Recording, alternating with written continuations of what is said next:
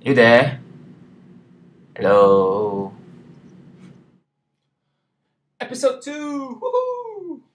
Thank you so much for all your feedback about episode 1. I'm really, really grateful for all the great feedback and advice and things from you guys. So, and I'm really happy that um, most of you told me that you enjoy it. Um, so, I'm back for the second week. So, it's International Women's Day today, and I will be dedicating this episode to women out there. And I'll be speaking to two very special women who are doing great things for um, women's issues in Malaysia and globally. So I'm very, very happy uh, to have them on the show. So I'm going to talk to them right now.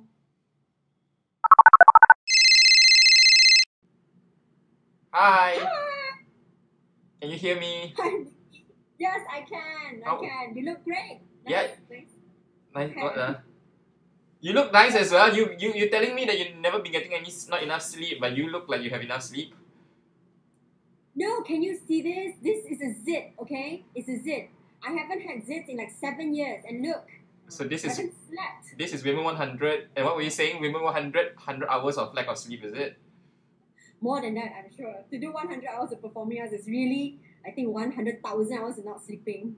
So what's okay? So what's the whole point of this whole thing? I mean, it's it's women in arts. It's you know International Women's Day. It's hundred anniversary of the of the the Women's Day and stuff. Well, actually, for us, when we first started the entire project, um, it's not noble like oh we want to you know it's not exactly like that. The point here is uh, basically really to use performing arts as a medium, but the issue, uh, what we're trying to reach out to, I mean, what is it that we're talking about? Are women issues? It's as simple as that. Uh, we want to show that performing arts is a really kick-ass tool lah, to to use uh, to to get certain messages out and to get uh, people involved it's a it's a great opportunity when we realize that it is a 100 year of uh, International Women's Day and we can actually do 100 hours of performing arts. Yep. So it's like, yo, let's kawin these two things together and you know, let's go. And it makes perfect sense, right? Because you just took over Kakiseni, which which uh, went dormant about a year or so ago. What are we expecting? I mean, like I know there's a lot of shows going on. I'm gonna miss all of them. Obviously, being here. Are you sure? Yeah. Not even one? You're not coming back even for one? Yeah. How? No, no, you- okay. Give me the details now. Then I'll see whether I can arrange something. Actually, uh, we have very good lineups. Uh, we had a prelude with uh, Live Scenario for Heart 6, right? So Mm. uh, we had a lot of uh, real stories about women being abused. Yeah. Uh, and that's really, really heart wrenching to Yeah. watch, really. And it opened up a lot of people's mind. People who never been to theatre got a shock of their life, okay? But anyway, that's one Yeah. of the shows that we are doing. So from the launch date, which is on the 8th of, uh, 8th of March, uh, the International Women's Day itself, we are launching with this huge show featuring some um, 16 or more celebrities Mm. uh, uh, reading, uh, write ups, articles which are done by other women and other men as well about women, you know, women directed by Ida Nerina. And then after that, after which, from the 9th onwards until uh, mid of April, it'll be every single day there'll be shows. Yes, you better come. You better come. calm down, calm And down. I will. No. Yeah, but you wear it like that. You carry it like that. It comes upside down for some reason. Oh yeah, because it's the other way. The mirror. Uh, Never mind. It's okay. It's your it's your first Skype call, right? yes, my first. Yeah. No, I'm great. I'm really looking forward to it. I'm so happy for you. I'm, I'm really glad for Kakiseni. And of course, I got so many friends who are involved in the show. So Yeah, yeah. Really, uh, everybody uh, you cannot imagine. I think at the end or either on the 8th, I will start crying already. You cannot imagine the stress we are in. Okay? okay, okay. I'll, I'll send some tissue paper over. Thank you very much. hey, thanks so much. I catch you soon. Okay, thank you. Take care. You. Bye.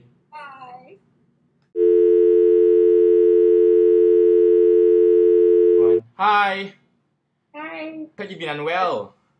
Ah, yeah, getting better, getting better. It's a good time to. I don't know whether it's a good time to find out that you made to the top 100 influential people when you're not feeling well. Mm, yeah, you don't feel influential when you have a cold. but congratulations. Contagious and infectious, but not influential. Yeah, you, I you, you inspiring people, not influential. oh inspiring people. Well, congratulations. I think a lot of people will, you know, agree with me that it's very deserving. So I'm very, very happy for you and uh, Zainah, Auntie Zai as well. Thank you. Did you know you were gonna get it? Well, you know, they contacted me through my blog, Okay. and they came through the comment box and said, "Can you send us your email?" I had no idea, you know, what what it was all about. I didn't really, I don't know. I mean, there's so many list things, Mm. so I didn't really think about it. And then they came out with this press release, so that was a bit of a shock. Yeah. And it's it's it's quite good timing, right? Because um, well, this video is going to come out on International Women's Day, Yeah, and you know, obviously, um, two Malaysian women making the list is is it's a great achievement. thank you.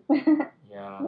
So so are you doing anything for International Women's Day? Yeah, well, you know, it, there are lots of things going on. Um, today I just recorded a TV interview uh, also for International Women's Day, which will be shown in a couple weeks.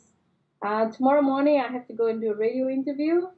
Um, and then in the afternoon, there's in, in the evening about six o'clock, uh, the Young Women's Caucus of Musawah, and yeah. are doing something at um, uh, the field in front of uh, Menara M Bank at PJ. Yeah, I got I got an email, uh, Facebook invite from Joanna, but well, I That's can't right. I can't make it. So Yeah, so I'm trying to go to that. And then after that, I'm trying to go to that Women 100 thing that Yuen is doing. yeah, I I got Ngai Yuen on on um who's gonna appear in this this video clip as well at the same time. I, want, I want to ask you, okay, this this this is coming from a guy, right? So something like International Women's Day, and I think one of the thing that Women 100 is doing is trying to get guys to talk about women's issues as well. Yeah. So what's your take on that whole thing? I mean, like, how involved do men need to be? Well, look, you know, I think men need to be involved because, you know, they're, they're not separated from women, you know, in real life. And I think everything that affects women also affects men.